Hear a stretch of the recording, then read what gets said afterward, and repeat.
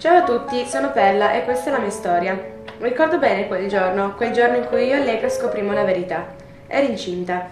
Ero agitata, non mi tenevo più in piedi. Ero frustrata all'idea di essere stata messa in mezzo a una cosa a me non familiare, come per me non era familiare Cesare. E solo il capitano della squadra, un bel sorriso, occhi piccoli e accattivanti. In poche parole era il solito ragazzino di cui si innamoravano tutte.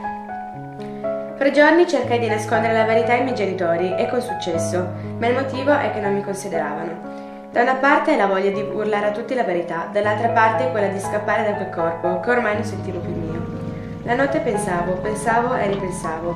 Mi sentivo inadeguata, pensavo, ero terrorizzata. Ma per abortire dovevo avere il permesso dei miei genitori e soprattutto non so se avrei retto tutto quel peso. Nella mia testa non c'era nient'altro che una grande confusione. Ero in uno stato di caos. Dovevo correre, solo correndo mi sarei schiarita un po' le idee. Ormai neanche più correre faceva effetto, ho combinato un casino più grosso di me.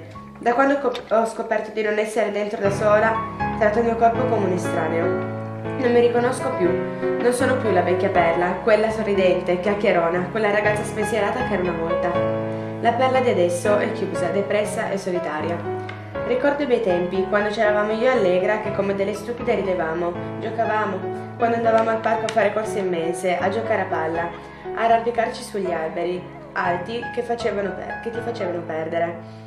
Mi mancano quei bei tempi nel quale pensavi di essere depressa se un ragazzo ti respingeva. Solo adesso capisco cosa vuol dire soffrire, il vero significato del sentimento tristezza. A volte provo a illudermi dicendo che passerà tutto, che è solo un brutto sogno, o meglio, un incubo.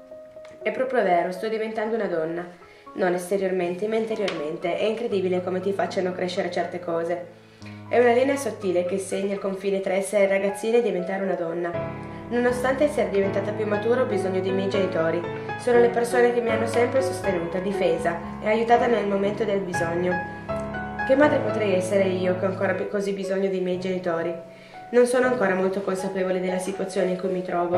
Un bimbo dentro, invisibile, eppure così presente chiuso nella mia pancia che da fuori sembra piatta come sempre, eppure pesa tantissimo.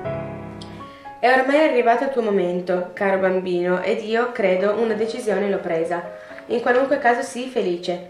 E la scelta che ho fatto spero sia quella giusta, davvero.